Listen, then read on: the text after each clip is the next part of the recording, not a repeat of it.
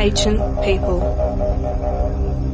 We are the Kombumerri people, the traditional custodians of this land. Our history goes back tens of thousands of years. Our tribal boundaries extend north to the Coomera River, south to the Tweed River, and west to the foothills of Mount Tamborine.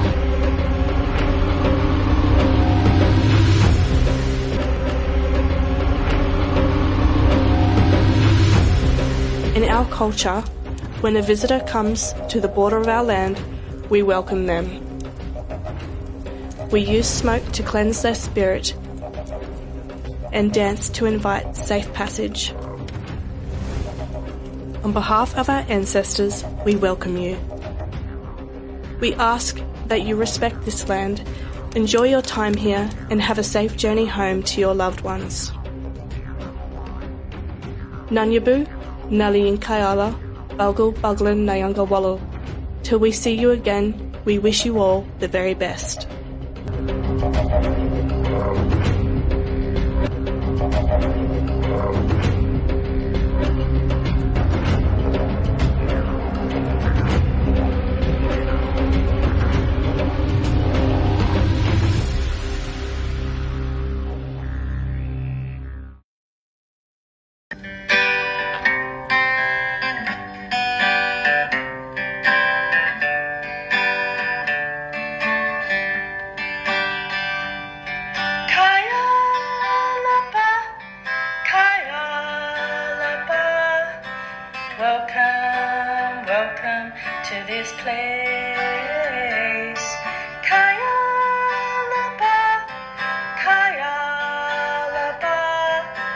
Welcome, welcome to this place where the land meets the sea.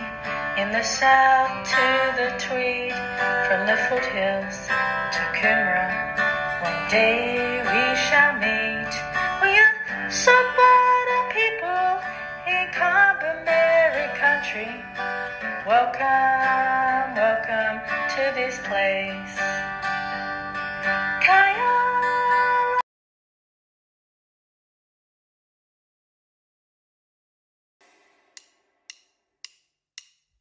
Yogan gagiwala nunggung yiwala molang mai. Yogan gagiwala nunggung yiwala molang mai. Yogan gagiwala nunggung yiwala molang mai. Yogan Inbul Layla, meaning travel. These long journey symbols with meeting places and waterholes, healing with the water, connection to the land and the spirit. All the beautiful colours, feminine colours. You can find our art on our Instagram page at mystic underscore underscore rise. And message us there for any inquiries about our art or any further messages. Thank you. Thank you. Hey guys, my name is Katrina. I'm a local Indigenous artist to the Gold Coast. I'm a Wiradjuri woman and my business name is Bunan Tamaran Art. And today I've joined Headspace to talk a little bit about Aboriginal art and also just to kind of teach you a few things that I do as an artist. So the first thing I'm just going to quickly go through is a step-by-step on how I actually paint. So the first step is always to prime my um, canvas or whatever I'm painting on. So I'll do about two layers of paint um, and that just really gives your background really beautiful pop and can really make a difference in your art. The next step is to block out um, any big bits of color that I'm going to be putting on. Um, and this is where I'll also paint symbols, animals, um, just things like that. Like this is where I would paint these big lines, um, like half circles, things like that. So that's the next step. After that, that's when you start actually putting in detail. So that's when I start putting in dots and lines and outlining things. And this is a part where your art really comes to life. Um, if you do make a mistake, this is when the back ground or the first layer that you put on really helps because if you make a mistake, you can just grab that color, go over it, and then fix it up with whatever color you are using. Um, with dotting, uh, you can use anything that really has a flat surface and that's round. I actually like to use, I actually like to use texta ends. So um, I really love textas because you can pretty much find them anywhere and you can get different size um, textas or pens so the end will kind of always be a different size which I like because I feel like when you use different size dots it really gives um, different kind of layers to your art. Sometimes I actually like to add big dots um, and then put little dots underneath uh, over top of them sorry. And also with my dots I like to kind of do patterns. So especially with the coloring so I will do like one color and then I'll do another color and I'll make sure I do that to every single kind of dot. Um, but obviously with dotting you can even do it sporadically. It doesn't have to be um, in a pattern. So I first started painting when I was very young uh, with my mother and I actually didn't like painting when I was young. Um, I did not like my paintings, but my mum would always say to me, just keep going, just keep adding to your paintings. And I think that's why I actually fell in love with painting is because I would just kind of be drawn back to it because I really love the way that we can really express who we are through our art especially with Aboriginal art, it's really about storytelling and we can do that through our symbols and through our animals, even through colour. Um, and it is such a reflection of who we are as a people, but also individually, it's a reflection of our own personalities. And that's what I love about art is it's so individual um, and yeah, it's such an expression of who we are. Um, and yeah, I just really encourage you guys to have a go. Um, I think creativity is something where um, you really have to chase it and it can just grow and grow and become something that is so beautiful. Um, you can just be so creative with art, like it never, never ends. Your ideas will just keep going and yeah that's what I really love about art so thank you guys so much for having me um, and I hope you enjoy painting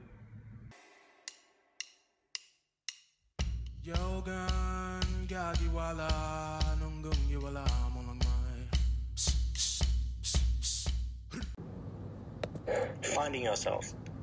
At some point in life, we all go through something. Something that defines who we will turn out to be.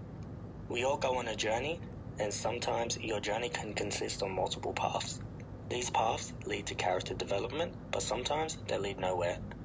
That's why you start on another. I wouldn't change anything about my past, good or bad, because without my past, I wouldn't be me.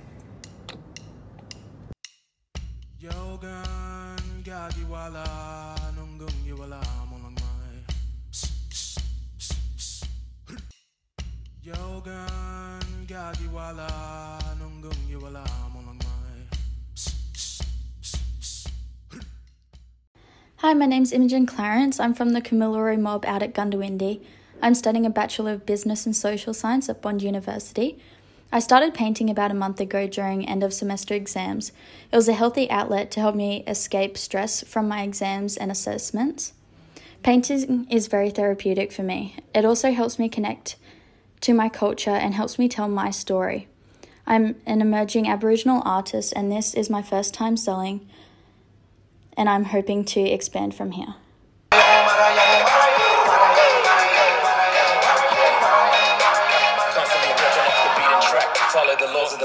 Holding the strength of the people within the palm of your hand. Spread your wings like an eagle, now you fly in the fields. Striving for the opposites of what society feels. I see a group of blacks, to tell them, yeah, that's us. And every time they knock you down, you gotta get back up. Yeah, cause we're the youth of the nation, the future generation. Since the invasion, race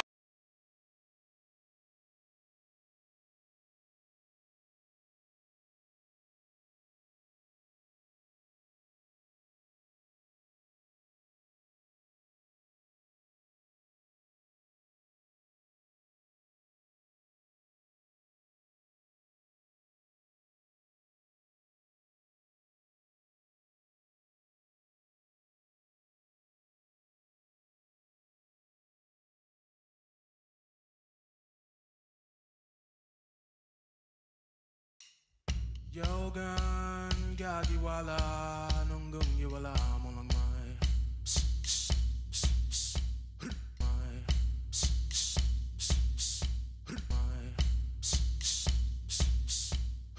Hey, mob.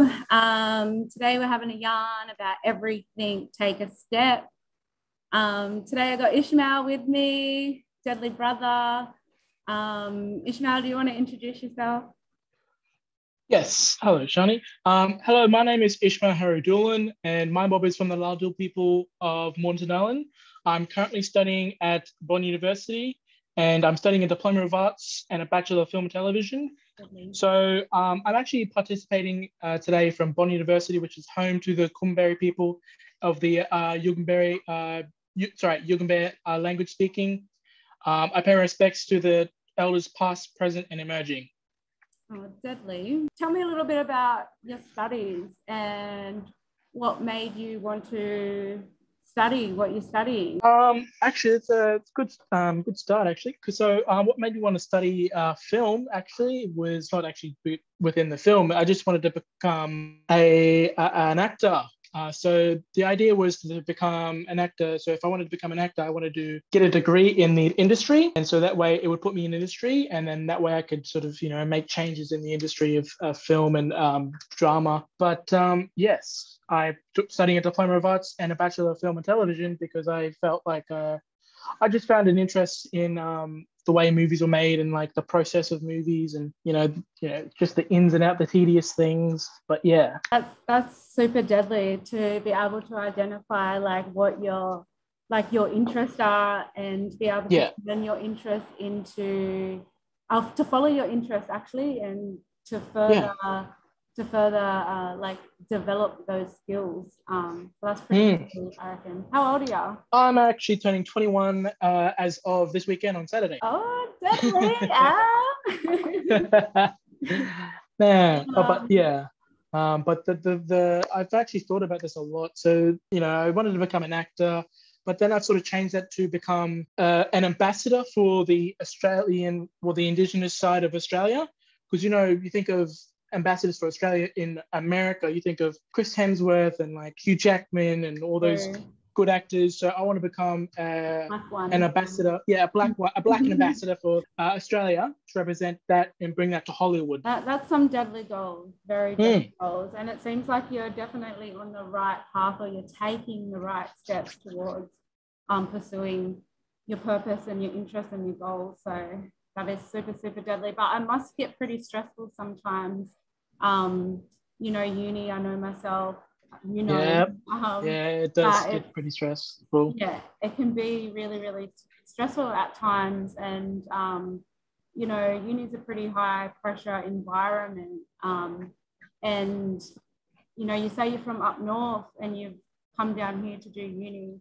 What, Mm. um, what do you think some of the challenges that you've found, um, you know, moving away from your from your home, from your family, um, to pursue your purpose and, um, you know, being in such a high pressure um, environment. Um, it- yeah, it must be quite Yeah. challenging at times. So, what are some of the things that you do, I guess, to keep yourself, you know, strong and um, yeah. healthy? I know you go. So- I know you've been training a little bit. Yeah, so I try and keep my yeah, so I try and get the, yeah get them gains. Yeah, yeah, but I, I I try to get um try to get my sort of clear my mental uh, health and sort of space as well. So I'll go for walks. If you know everything's everything's like loading up really fast, I'll just I'll just put everything down and go for a walk and just clear my mind. Look at the sunset, look at the sunrise, depending on what day it is. Um, I'll call my mum, which is always good. It uh, brings me, it calms me down a bit. Yeah. It's always good to call family as well.